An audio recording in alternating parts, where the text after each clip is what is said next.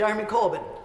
Thank you, Madam Deputy Speaker. At this incredibly dangerous time, I noticed that the Defence Secretary did not mention or say much about the Minsk agreement.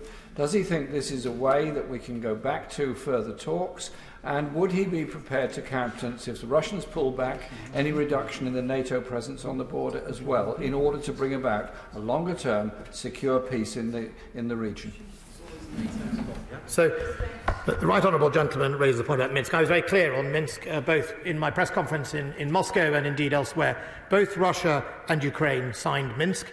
Uh, he will know that in, in those type of treaties, uh, such as we found with the Good Friday Agreement, The treaty is one thing. Rolling out your sleeves and delivering the sequences in the right way uh, is the big challenge. We all remember that from things like decommissioning in Northern Ireland.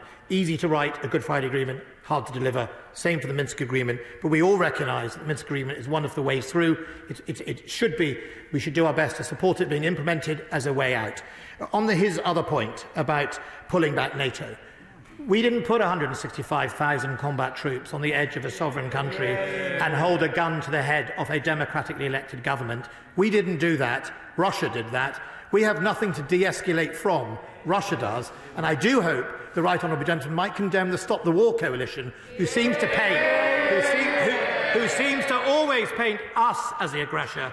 Maybe he'd like to go and ask the people of Ukraine what he actually thinks who the aggressor is.